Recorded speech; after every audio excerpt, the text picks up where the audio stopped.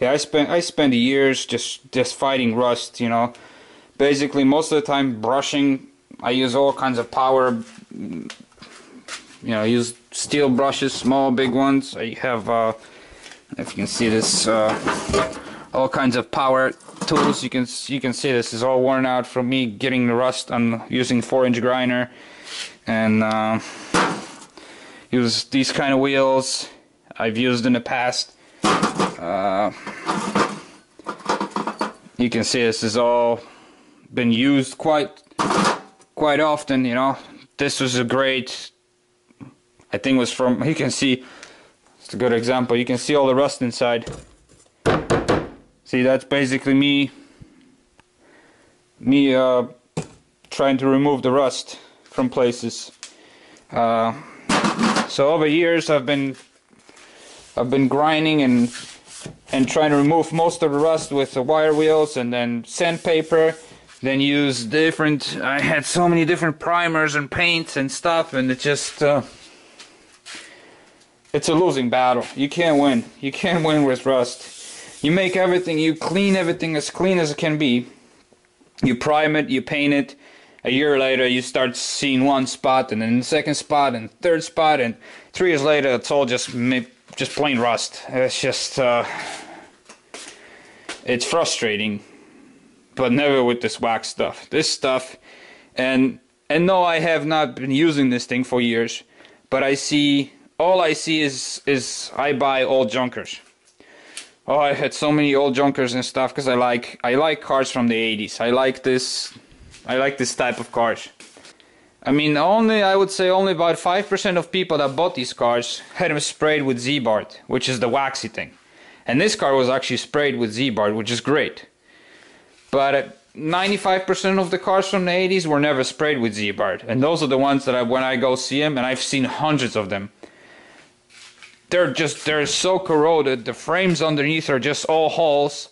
Actually, I've seen somewhere the bumper, you, you push on a bumper and the whole bumper falls off, falls down because there's nothing supporting it. You know, that's what I see and I, uh, this is fun. I'm, I'm going to see one tomorrow, not a uh, old Chevy like this, and uh, so that's what I do for fun. And and all I see is just rusted cars, unless they were sprayed with Ziebart. And I don't, I don't recommend Ziebart anymore. I think Ziebart today is not the same Ziebart that was in the 80s. And I don't want people to think I'm pushing Ziebart because let me tell you something about Ziebart. Ziebart used to be a great company that used to spray this stuff on cars, this waxy stuff, that made cars last forever. The problem with that is it only needed one application. Once they sprayed it on, it was good for 25 years and it would keep the car protected. Well, this was bad for business. Of course, they want you to come back every year to have it sprayed to keep the rust away. So they came up with this new solution, spraying solution that it's very it's almost like an engine oil that they spray on, and you look underneath, and the frame looks nice and oily and stuff. But a year later, it's all gone. Of course, that's what they want. It's just like people making light bulbs. They want this light bulb to burn down, burn out, because uh, otherwise it would be bad for business. And that's what that was the problem with Ziebart. They would spray these cars, and they would be great. All they need is one application when they were new, and and they were protected for 50 years. And that's basically what killed their business. So now I would not recommend anybody going to Ziebart because it's not the same stuff.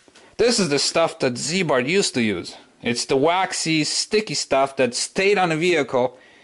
You couldn't wash it away. You could drive it through salty winters and, and live near the ocean. It didn't matter. This stuff just stuck on and kept the rust off. But uh, it was basically it was too good. It was too good. They had to change it.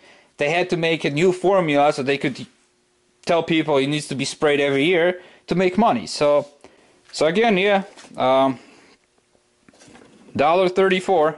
You buy five of these and one bottle of that, fourteen dollars total, and you can you can do probably two vehicles with this stuff because this is only two rings in here, two rings and about that much oil.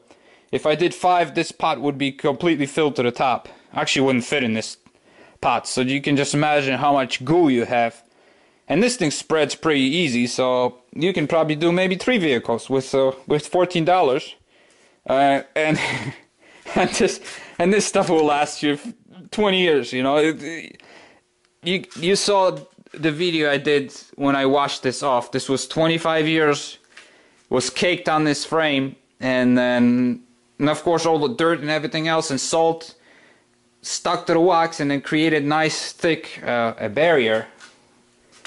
And for 25 years it protected this frame and this frame is spotless. The whole frame any place I'll, I'll rub it and it's just beautiful clean metal underneath. All because it was protected with wax simple wax. Nothing beats simple wax Simple, and this is not, this is not like a candle wax. Candle wax gets hard and it'll just flake off. This stuff is, I don't know what it has. I don't have a chemical, I'm an engineer, but I'm not a chemical engineer. And uh, so I don't know exactly what additive is in there to keep this wax soft like that for years. So today you got all these fancy products. You got uh, Por 15, you got Eastwood makes this uh, rust uh, encapsulator. Then you have uh, you have Loctite makes this uh, extend. All these products supposed to be able to go right over rust and prevent from any rust forming and, and, and basically create a barrier. And, and and boy, I've tried them all. I've tried I've tried them all on old vehicles and they just do not work. They they only work in a perfect condition when you have nice metal that has light rust and it has no grease. It it doesn't have any clean metal, and it doesn't have any big flaky metal. I mean, any big flaky rust. It just has to be just light rust. So if it's flaky, you have to brush it off. But if you brush it off, then you expose new metal that basically the, those products don't stick to it. For example, Por 15, you can put it on a on a nice clean metal, and at first it sticks, but then a few months later, it just comes right off. But where the metal was lightly rusted, it actually sticks for a long, long time. But if you have a frame that it's rusted and it's in front of the car, that's got all the fluids on splashing oils and grease and stuff, that frame is going to be just completely greasy. And now you have that thick rust that absorbed all that grease. You will never be able to clean that grease off. I don't care what kind of chemicals you use, you'll never get that off because it's just so deep penetrated, the grease penetrated at rust, which actually keeps the car from rusting even more.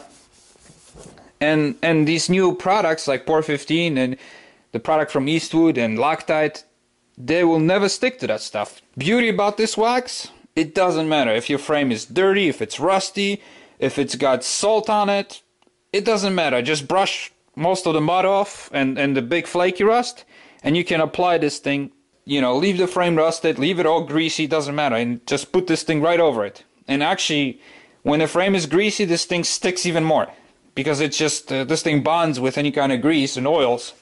So you you can't go wrong with this thing.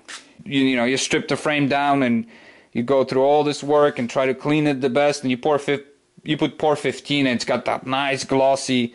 It's almost like ceramic look, and people love that this doesn't gonna this not gonna look the best. I mean right now this looks natural wax color so it looks like poop on the frame. So anyways uh, YouTube guys uh, give it a try. Yeah. 15 bucks for five of these and a whole bottle of this and we'll get you two three cars protected. And and trust me you'll never have to do it again. And it'll keep that rust away so so have fun and and let me know how it works out for you. All right thanks